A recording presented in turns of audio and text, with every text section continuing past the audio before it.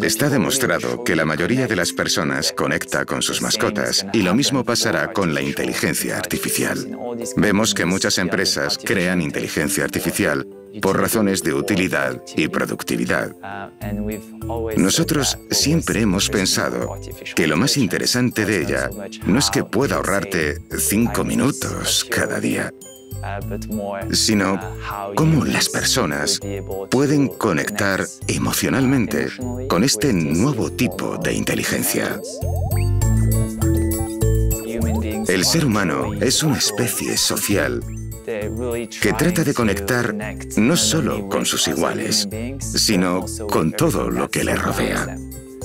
Así que empezamos Hugging Face con esta visión de la inteligencia artificial, con la idea de que para construirla hay que centrarse en el aspecto del entretenimiento y de las emociones. Un factor muy importante en nuestro concepto de inteligencia artificial es que todo es muy simétrico. Nos dimos cuenta de que para crear una conexión sólida entre tú y la inteligencia artificial, la vida de la inteligencia artificial debe ser tan compleja como la tuya. Dicha inteligencia artificial debe vivir su propia vida tal como la vives tú, y así se creará una conexión perfectamente simétrica entre ambos. Le harás preguntas a tu inteligencia artificial. Intentarás aprender de ella. Y lo mismo a la inversa. Tu inteligencia artificial te hará preguntas y aprenderá de ti. Básicamente la integramos con tecnologías diferentes. La primera se basa en el conocimiento semántico y en reglas semánticas.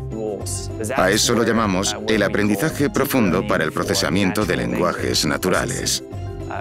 Esto funciona, en esencia, mediante la construcción de una red neuronal que es la suma de unos algoritmos sobre otros que se entrenan con enormes conjuntos de datos.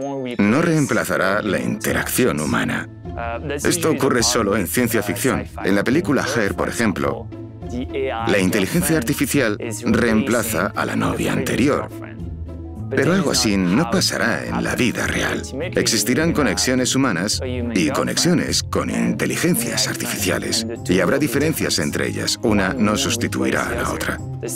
Lo mismo ocurrirá con la inteligencia artificial. Es decir, no reemplazará la realidad, sino que será algo diferente que se añadirá a lo que existe actualmente.